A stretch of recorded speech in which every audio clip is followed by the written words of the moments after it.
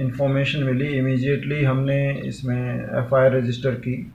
और FIR register करके हमने पुलिस टीम वहाँ पे मौके पे पहुँची। और मौके पे पता चला कि उस लड़की ने जहर खाया है। उसके, उसको जो है बांडीपुरा हॉस्पिटल लाया गया। वहाँ से उसको एस जो है ले ले जाया गया। लेकिन वहाँ पे वेरी अनफॉर्चुनेटली उसकी जो है डेथ हो गई।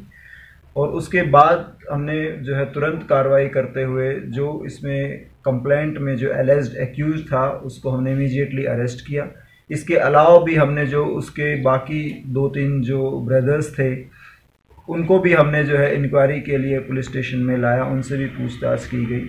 और अभी जो है केस में हमने एक स्पेशल इन्वेस्टिगेशन टीम का कंस्टिट्यूशन किया है हेडेड बाय डीएसपी हेडक्वार्टर इसमें हमने डिफरेंट डिफरेंट फील्ड्स के उसमें लॉ एक्सपर्ट भी हमने रखा है एफएसएल एक्सपर्ट भी रखे हैं।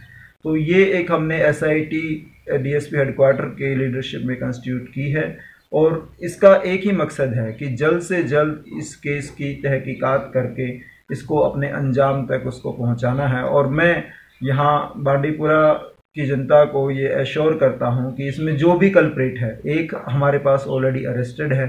इसके अलावा भी अगर किसी की इन्वॉल्वमेंट इसमें पाई जाती है तो हम उसको भी जो है इमीजिएटली अरेस्ट करेंगे। और जो भी इसमें सख्त से सख्त सज़ा होगी, वो पुलिस जो है कोर्ट से, एक फास्ट ट्रैक कोर्ट हम इसमें जो है रिक्वेस्ट करेंगे कि फास्ट ट्रैक कोर्ट इसमें कंस्टिट्यूट किया जाए, ताकि जो भी इसमें एक्यूज है, उसको जल्द से जल्द इसके गुनाहों की सज़ा मिल सके। थैंक्स